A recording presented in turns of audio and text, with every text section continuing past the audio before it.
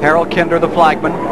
Pace car is in, ready to hit the button and send them off. Let it out. Let it out.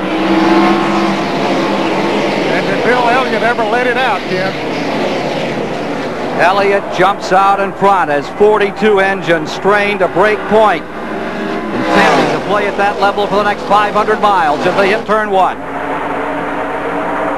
Three wide, that track about 40 feet wide at 200 miles an hour. It shrinks to about four feet.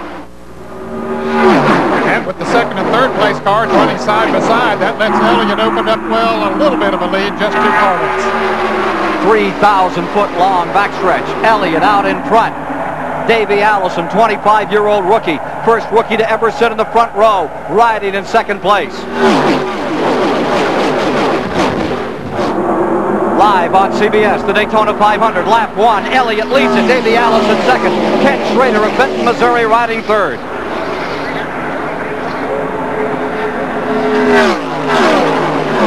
They've never had a bad wreck in lap one. Lap three, three times, has had serious consequences. Fords running first, second, third in the early going of the Daytona 500. 1963, the last time there was a Ford sweep. In that year, it was Tiny Lund victorious for the Wood brothers. In second was Lorenzen. In third was Ned Jarrett. Ricky Rudd, number 15, moving around. Rusty Wallace in number 27. Lake Speed just in the bottom of the picture.